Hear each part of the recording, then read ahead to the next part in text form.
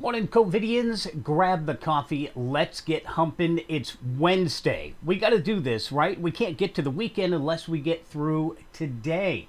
But the sun is shining. It's warmer here in Michigan, and I don't know about you. I am so ready for spring. I actually heard some birds singing the other day. I mean, that was kick ass, right?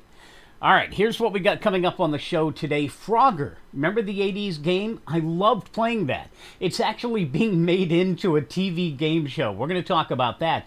And remember when the weatherman said, Oh, we've got a chance of rain? Everybody thought it was going to rain, right? Thunder, lightning. No, it doesn't mean what you think it does. Plus, we've got a brand new quarantine and we've got a brand new show that's going to be airing soon. Make sure you check it out. ScoobasPlace.com, Alexa, Google devices, the online radio box app, MyTuner Radio, and Streema. Get the coffee, folks. Let's get going. Here we go.